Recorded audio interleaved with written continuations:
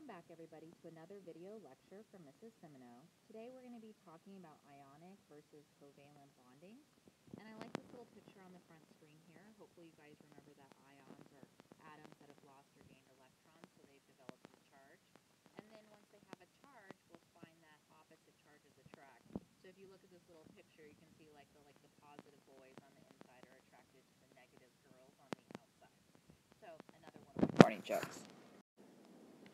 So in the first part of this lecture, we're going to go ahead and talk about ionic compounds and metals. While they bond differently, they have an exchange of electrons that are occurring. And so that's what's going to make ionic compounds be able to conduct electricity when you've dissolved it in water. And we also know that metals can also conduct electricity. Just looking at this little picture here, we can see that we have something positive, we can see something negative, and we can see like a little attraction happening here between the positive and the negatives. And then this structure down here, um, we can see that we've got sodium atoms and chloride atoms or chlorine atoms here, or ions, I guess I should say. And so what ends up happening is they form this structure called a crystal lattice. Um, so if you've ever thought of like salt crystals before, that's what the basis of a salt crystal is. So to back up a little bit, we're going to talk what is a chemical bond and why do atoms form chemical bonds. So atoms are generally found in nature in combination held together by this thing called a chemical bond. It's basically a force that holds two atoms together, and it's an electrical attraction between the nuclei and the valence electrons. Remember, the valence electrons are those outermost electrons, and they're the ones that are involved in chemical bonding, so that makes sense. And so when we talk about chemical bonds, there's two types. There's ionic and then there's covalent, but in this first lecture, we're going to go ahead and we're going to talk about ionic bonds. Ionic bonds result from the transfer of electrons from one atom to another. So remember, if we're transferring electrons, one atom is going to become positive. The one that's receiving the electron will become negative. Because we have these opposite charges, there's going to be an attraction between the two. And so this attraction is called an, an ionic bond. Okay? And ionic compounds are composed entirely of ions. And again, between positive and negative. And then remember, positive go with the cations because they're so positive. Okay. And then we have the negatively charged anions. Now, atoms are going to form these ionic bonds because they want to fulfill that octet rule. Remember, have those full valence shells. That's why they become ions. And then these opposite charges will attract each other. So looking at this picture here, we can see that we have a sodium atom. I'm hoping you guys remember that sodium atoms have one valence electrons, and then we have a chlorine atom, and you guys can, if you count out the valence electrons, you can see that there's seven there. And the idea is that they want to fulfill that octet rule. So the octet rule means that they want to have full outer shells. So if this atom over here loses this electron, it will now have a full shell underneath. And if this atom over here gains another electron, its outer shell will become full, and that's what it's looking to do. So once the atoms have uh, transferred the electron from the sodium atom to the chlorine atom, you can uh, see that the sodium atom has become smaller because it's lost its shell. But notice it has eight electrons in this valence shell.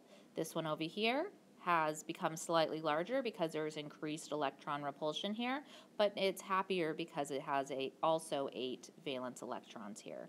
And so now each one of these will look like a noble gas. This one will look like neon because it has 10 electrons. This one will look like argon, another noble gas because it has 18 electrons. And so now they're going to be very stable.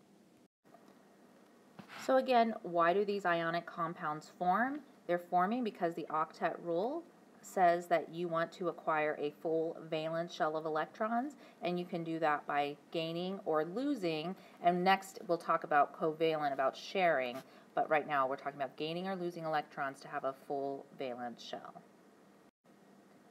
Another important aspect about this video, it's pretty interesting. We take sodium metal, which is really reactive.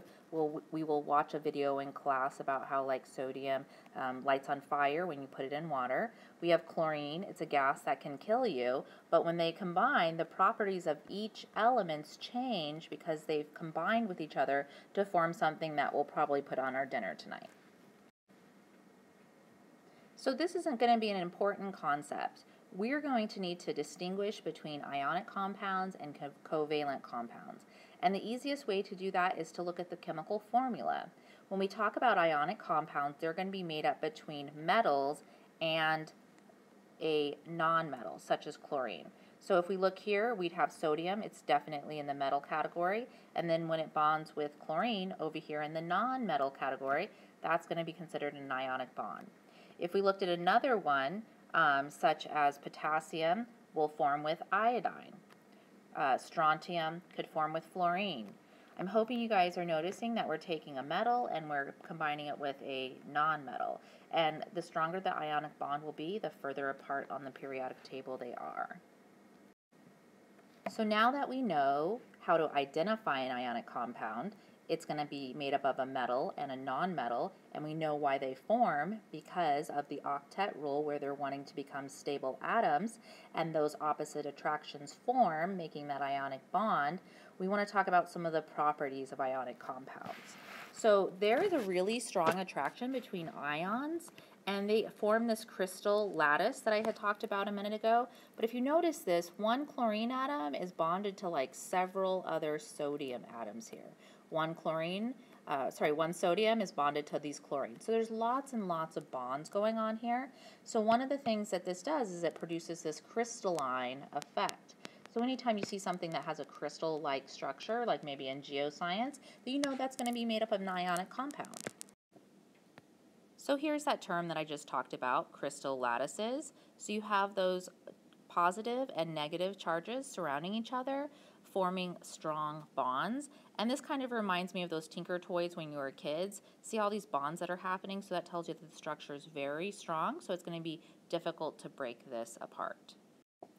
Some other properties of ionic compounds that you need to know is that anytime we have a compound, it's going to have a neutral charge to it. They're also going to have high melting points because they have so many bonds. It's going to take a lot of energy to break all of those bonds, so that's why they have higher than covalent melting points. They're considered to be hard and strong, again, because they have all of those attractive forces, all of those bonds. And then we should know that these guys are electrolytes. So when you dissolve them in water, they're going to conduct electricity. Hopefully you remember from a lab earlier this year where we did the, um, took the uh, electrical conductivity meters and we plopped them in the water.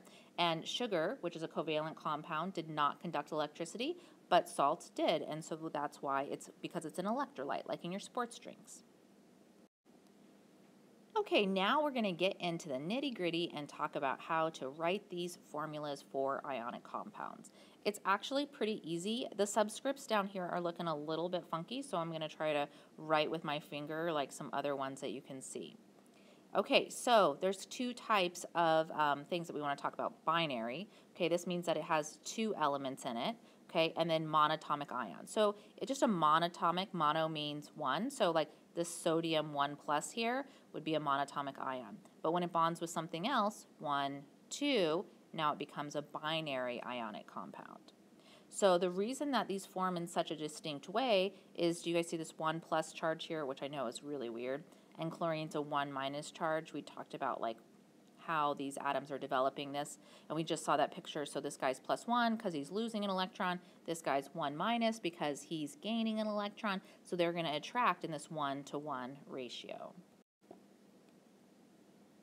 Now we can have monatomic ions. It's just that single element.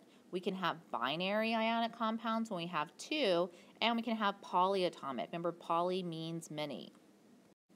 So if we look at this one that I just wrote over here, this compound, we can see that there's lots of ions in here. There's going to be three ammonia ions, and there's going to be one phosphate ion. Oops, and I made a mistake here. This one should be a 4 right there. That's mine.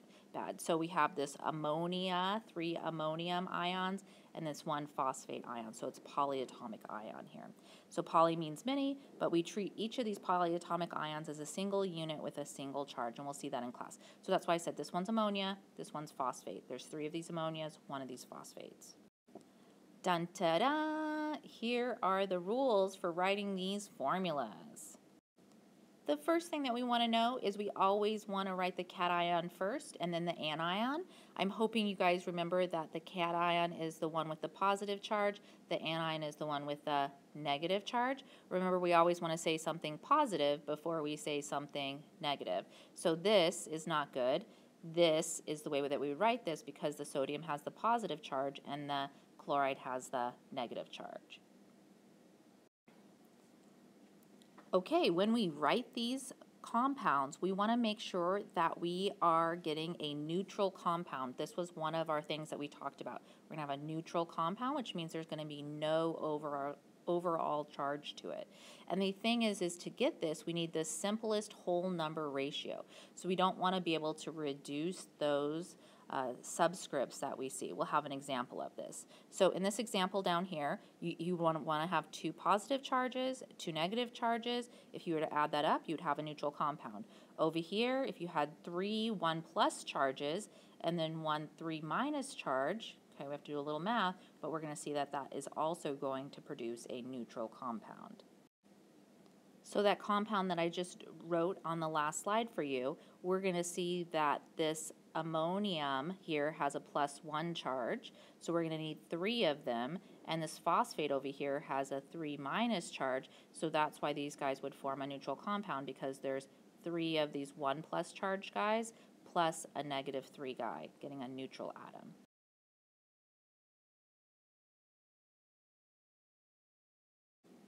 When we go to write some formulas, they're just automatically going to cancel each other out, and that is really nice. So potassium has a plus 1 charge. Again, I know it's kind of written weird on the screen. Iodine has a 1 minus charge. So plus 1, minus 1, if you add those up, that's going to give you 0. Now down here, we have the magnesium. So this is a plus 2 charge. This is a minus 2 charge. If you guys were to add these up, it would give you 0 or a neutral compound. Notice that there's no like charge written on either one of these, so that's indicating that it is neutral, and that's what we want when we write these formulas. So what happens when our compounds don't have opposite but equal charges? In this case, we can see that we're going to have aluminum. I've kind of rewritten it so you can see it a little bit better. Aluminum, if you look on your periodic table, it's going to have a 3 plus charge. Chlorine, or the chloride ion, will have a 1 minus charge. So clearly, if we take positive 3 and negative 1, this is not adding up to 0. So what we're going to have to do is we're going to have to make sure that these charges are balancing each other out. So here's a little bookkeeping method that I like to do over here. So here is aluminum and here is chlorine. Right now we have a 3 plus charge and a 1 minus charge. So clearly they're not canceling each other out. So how can I get to be 3 plus over here, right? That's what we want to get is to be, sorry, we want to be minus 3 over here. Right now we're only minus 1 because we have just this 1 here. But what if we added another chlorine atom? Well then we would be minus 2, so we're going to have to add another chlorine atom, and we would be minus 3, and that would be giving us a negative 3. So the formula for this one would actually be Al Cl3 because we needed 1, 2, 3 of these atoms to balance this charge. So on this slide, we can see how we would form this aluminum chloride compound. So what we would go ahead and do is we'd write our aluminum, has its 3 plus charge as our aluminum ion. We would need three of those chloride ions, and then they would combine to form our aluminum chloride ion, or compound over here. A little bit of a cheater method that you could use would be the crisscross method. So the way the crisscross method would work is you would just take this and you would write it down here, okay, not the charge, but just the number, and you would take this and you'd write it down here. So it'd be Al1 chlorine 3, but remember I always like to joke that chemists were lazy, so we're never going to write this 1. If we're writing the aluminum, we're already saying that there's at least one there, and so you can see how it's called the crisscross method because you just simply switch those um, charges to determine the number of atoms that you would need. So on this slide here, I've rewritten them so you can see them a little bit better. But remember, aluminum's got a 3 plus charge, chlorine's got a minus 1 charge. We're switching it. We just did this on the last slide. But here's another example. We know that calcium has a 2 plus charge. Phosphide or phosphorus ion would have a 3 minus charge. So you're just going to go ahead and switch them. So this 3 would plop down here, this 2 would plop down here, and now we're in the lowest whole number ratio where our charges are canceling out. Okay, so I just wanted to show you my bookkeeping method with this one down here. So if we take calcium, there's three of these guys. So three, oops, I forgot to make them positive. Okay, so we'll have three positive charges of two. So this down here, this would give us positive six. These guys over here, there would be two of them, would give us minus six. So you can see that these charges would cancel out, giving us a neutral compound. So when we write our compound, sorry, it's getting a little messy, this is what the formula would look like. We need three calciums and two phosphoruses to have a neutral compound. Now this one's always a little bit tricky for kids, uh, is we're going to use parentheses if we have more than one polyatomic ion that we're using. So in this example, we've seen this before. This is calcium carbonate. We can see that there's no parentheses here, right? We're just saying there's a calcium and here's a carbonate ion. The carbonate here, it has many atoms to it, so this would be called a polyatomic ion. But if we look at this example here, we can see that we have this polyatomic ion right here, but since there's three of them, we need to put the parentheses here. Because if we were to write the three like right here, we'd say that there were like 33 hydrogens, and that's not what we're trying to get to.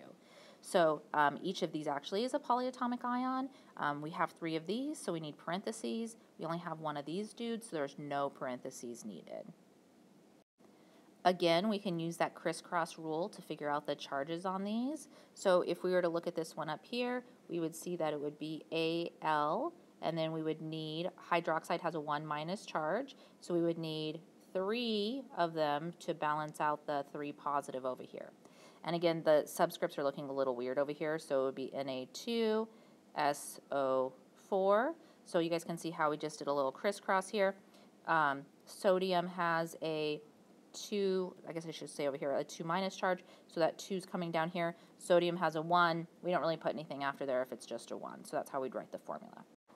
So this is a good stopping point for this video, and the next video we'll go ahead and talk about how we can name these compounds.